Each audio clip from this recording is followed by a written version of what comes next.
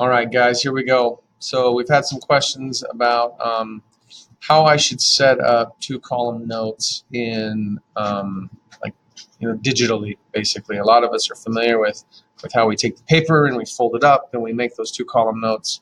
Um, but how would I do that on the computer version of the same thing? It's actually really simple. I generally use the tab key um, to try to set that up. So let me show you how that works. Um, so I'm going to come up here and go to Drive. I'm going to open up a doc. I'll go ahead and open a new document. And I'm going to start typing my notes. So of course, you know, T T equals whatever my title is. I probably want that to be nice and big, so I'm going to change the size up to something like that. I might even center it. And then I'm going to drop back down. Now here's where a lot of people get themselves confused. Make sure I set my font size back to something more agreeable. Um, they get themselves confused because they think that what they need to do is come up with like like two different columns on the paper because it's a two column note. So they'll they'll try to come up here to like a table and they'll insert a table that's you know two by one or or they might go and change the format and and come over here to columns. I don't mess with that stuff. Okay, all that you need to do is organize your paper in this way. Okay, remember two column notes have two main things once you get your topic down. They have the greens, which is the title. They have the yellow key points, which is what I'm going to put in now. And they have the red supporting details. Those are the three main pieces. Okay.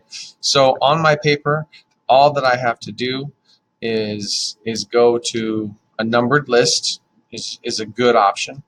Um, and I'm going to come up with know, key point number one. Okay, so whatever I might type in there, okay? Now, one way that you can do this is you can just use the tab key. So I might tab over here some distance that I think looks like a good column distance, maybe here, and decide that I want to go um, whoops, let me do that. Decide that I want to go ahead and put in my, my list of my supporting details. Now I can't do another like a bulleted list or a numbered list within the formatting of the document because I've already got one over here. So what I do is I just use asterisks. So I'm going to hold down the shift key and I'm going to hit number 8 and that's going to put in a little thing. and double tap my spacebar and I'm just going to go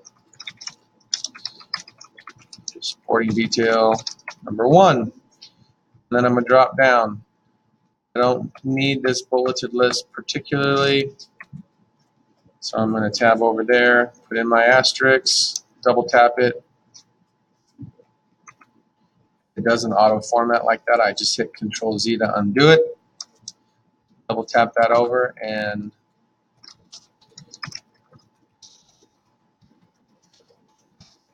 in detail number two. And oops, double tap it.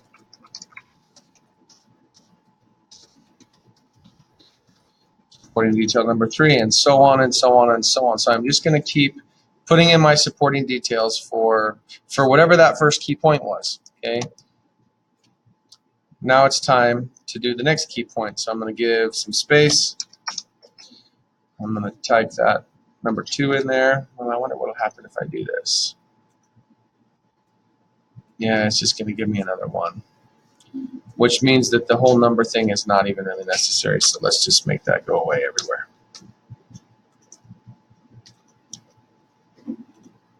Okay, so I'll just come down a nice distance here.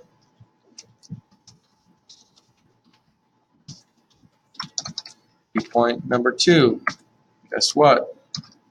asterisk, double tap. I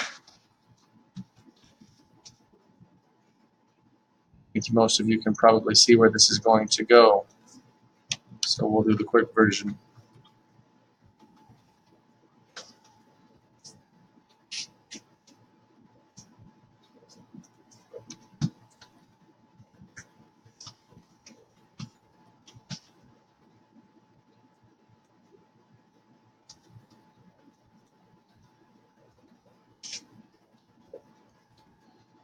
Okay, just like that. Now, obviously, probably clean this up a little bit better here.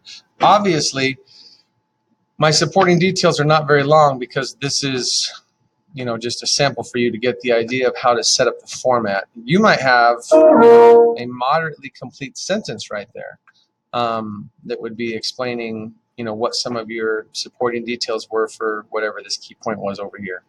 Um, so it may end up taking up a little bit more space than that. Some people will come in and emphasize these key points by maybe changing the font size of just that section. That's too big. So we'll go to like 18 and we'll bold it.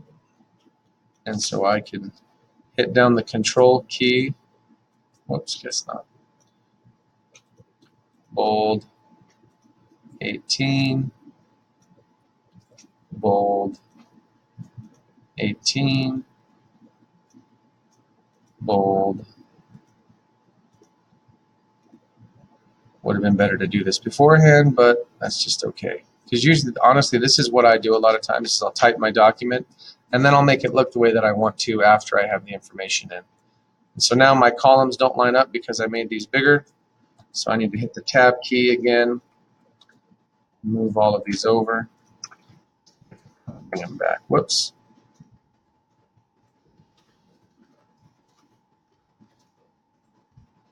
Bring them back over to here.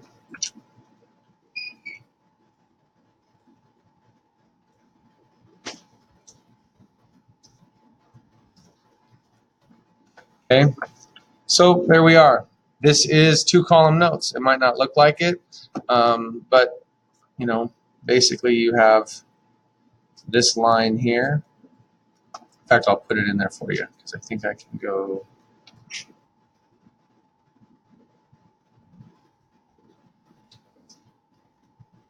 There, so there's your there's your top T line, and then of course this gap that we established with our tab key I can't put a line there in my document, but that's the other line of your two column note right there. And so just like regular two column notes, we've got a kind of narrow section over here for the key points. And then over here, there's a much larger section for you to type in all of your supporting details and those types of things. So if you have a, a task where you need to create some two column notes, some people call it an informal outline, it's the same basic thing. Um, this would be the way that I would organize it if I were doing it in Google Docs. Enjoy. Hey, make today a great day. See you soon.